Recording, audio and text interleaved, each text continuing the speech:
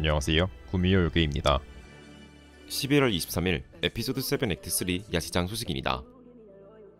야시장은 새로운 스킨 구매를 준비 중이라면 놓치지 말아야 할 이벤트로 최소 2개 Act 전에 상점에 출시된 Select, 디럭스, 프리미엄 등급 스킨 컬렉션 중 6개의 무작위 스킨을 할인된 가격으로 판매해주는 이벤트 상점입니다. 이번에 새롭게 돌아오는 에피소드 7 Act 3 야시장은 한국 시간 기준 12월 21일부터 1월 9일까지 오픈 예정 날짜가 알려졌으며 게임 시작 화면의 오른쪽 상단에서 반짝이는 카드 로고 상징을 클릭하여 자신에게 선택된 스킨 카드들을 확인할 수 있습니다. 야시장은 무작위 스킨과 할인율을 결정하지만 나름의 메커니즘이 정해져 있는데 첫 번째, 자신에게 정해지는 6개의 스킨은 모두 랜덤으로 선택되지만 최소 2개 이상의 카드 슬롯이 프리미엄 등급 이상으로 선택되며 두 번째, 선택받은 6개의 스킨은 최소 10%에서 최대 49% 범위의 무작위 할인율로 결정되고 세 번째, 동일한 무기는 최대 2개의 스킨까지만 등장하도록 메커니즘이 정해져 있습니다. 결과적으로 모든 플레이어가 최소 2개의 프리미엄 또는 나이프가 등장하는 슬롯을 받으며 같은 무기만 3개, 예를 들어 밴달만 3개의 스킨이 등장하는 일은 발생하지 않게 되겠죠. 아주 극단적인 불운에 대한 방지와 다양성을 증가시키기 위해 특별히 설정된 조항이라고 합니다. 또한 매번 야시장마다 헷갈리시는 야시장 품목은